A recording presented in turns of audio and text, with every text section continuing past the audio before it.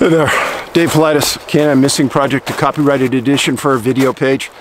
It's a special edition for our channel. Uh, it just this incident just came across my desk a few hours ago. Uh, I dropped everything and decided to come out here as soon as I could to uh, get this done for you. But uh, one of our villagers asked me to put out some information on a missing person I don't believe right now it's a 411 case, but uh, hey, when our village speaks up, I'm going to try to respond if I'm available to do something. And uh, this was in the East Idaho News. It says the Custer County Sheriff's Office is searching for an overdue person who was last seen on 11th Street in Challis, Idaho.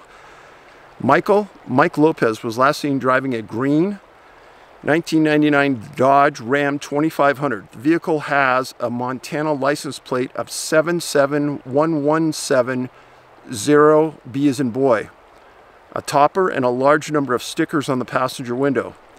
Lopez has medical conditions according to a sheriff's office Facebook post. Then there was a follow-up story to this. It says, uh, family says a Montana man vanished in Idaho while on a road trip to visit family for the Thanksgiving holiday. Michael Mike Lopez last texted his daughter Lacey Lopez on Wednesday when beginning a road trip from his Missoula, Montana home to visit her and family in Southern California. While on his way, Lopez planned to stop to visit a friend in Caldwell, Idaho, but he never made it. We are just at a loss at this point, Lacey said. Lacey contacted Mike's friend who assumed that he had a possible he had possibly got the wrong weekend. This is Mike.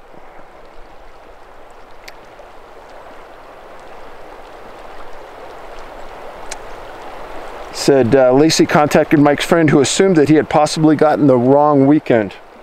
With her dad missing, Lacey contacted authorities in Montana who determined his phone was last pinged Wednesday in Challis near US Highway 93 and 11th Street.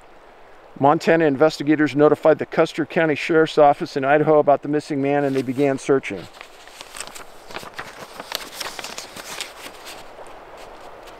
I'm seven months pregnant and it was going to be my first grandbaby, Lacey said. He is so excited to be a grandpa and we're all really sad. The Custer County Sheriff's Office said as of Tuesday afternoon they have no new information on the leads in the search for Lopez. Again, he's driving a 1999 Dodge Ram 2500 pickup truck with a Montana plate of 77117 boy, B as in boy and a topper and a number of stickers on the passenger window. Anyone with information who may have seen Lopez is asked to call the Custer County Sheriff's Office at 208 879 2232 or dial 911. So I think the key to this is this uh, Dodge Ram 2500 1999 green. Again, that's what Mike looks like. Everyone in Montana and Idaho pay close attention.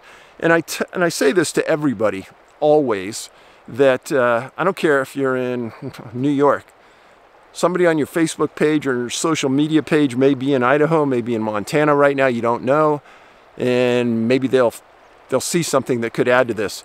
And of course, if you don't need the number, just dial 911.